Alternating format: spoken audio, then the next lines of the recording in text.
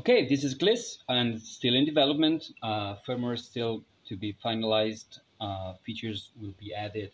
But I thought I'd show um, some of the um, current state of things. Uh, people have been asking uh, how to switch between different modes, whether that requires a refresh in the firmware or maybe connecting to an external computer and somehow you know change it from there.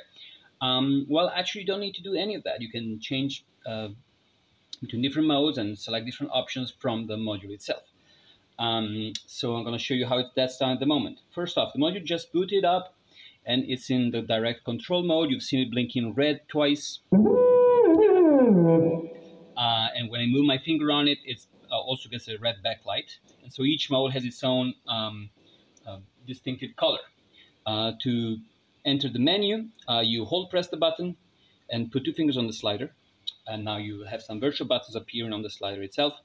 And the top button brings you on to the next mode. So I can cycle through the modes uh, with the top button here. And every time a new mode starts, you've seen it, it flashes out the color of the mode.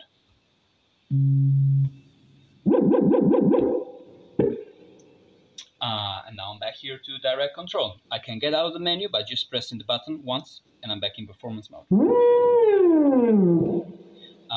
May have seen there are other uh, buttons in the menu, so I'm gonna go back in, hold press the button, two fingers on the slider. Uh, the one at the top, we've seen it, is, to go to the next mode. Um, you, you've seen there are like two or three blue ones in the middle, and those are mode-specific settings, so their number and their animation will depend on the current mode um, and on the current settings too.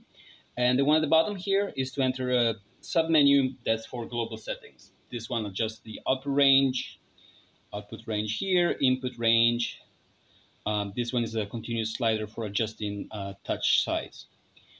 Um, you get out of this sub menu by pressing the uh, button once and then you're back at the main menu and you press the button again and you're back out. That's it for